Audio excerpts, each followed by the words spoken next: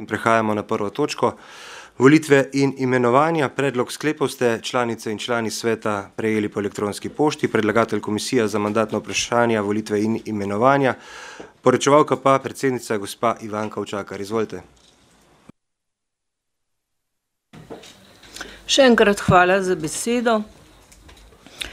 Predlog sklepa je takle: Občinski svet Občine Kamnik sprejme sklep, mnenje k imenovanju ravnatelja Osnovne šole Marije Vere in pa drugi, drugič, Občinski svet Občine Kamnik sprejme sklep, mnenje k imenovanju ravnatelja Srednje šole Centra za izobraževanje, rehabilitacijo in usposabljanje Kamnik. Kot sem že prejle omenila, smo dobili zaprosila iz enega in drugega sveta in smo pripravili sklepe takole. najprej sklep, mnenje k imenovanju ravnatelja Osnovne šole Marije Vere.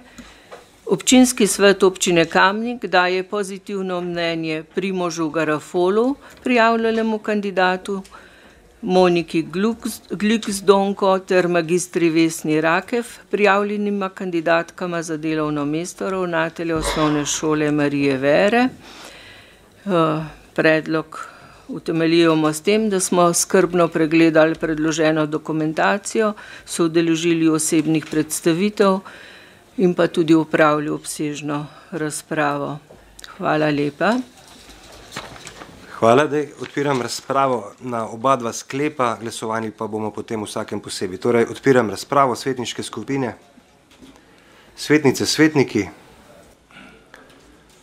Ne. Zaključujem razpravo in glasujemo o naslednjem sklepu: Občinski svet Občine Kamnik sprejme sklep, mnenje k imenovanju ravnatelja Osnovne šole Marije Vere. Glasujemo. Glasovanje poteka.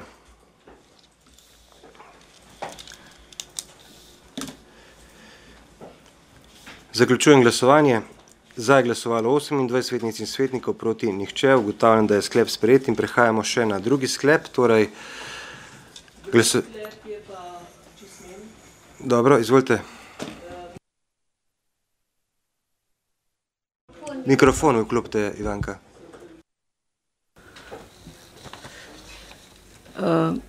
to se pravi, za Cirius smo dobili zaprosilo, da kandidira Iztok Osolnik, samo en kandidat, in temu kandidatu na podlagi predložene dokumentacije in razprave podajamo pozitivno mnenje.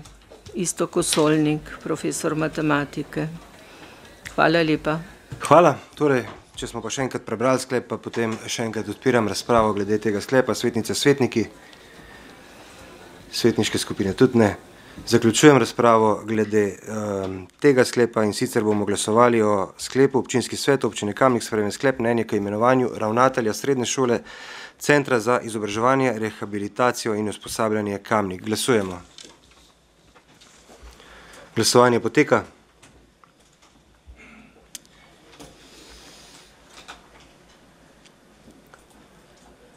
Zaključujem glasovanje.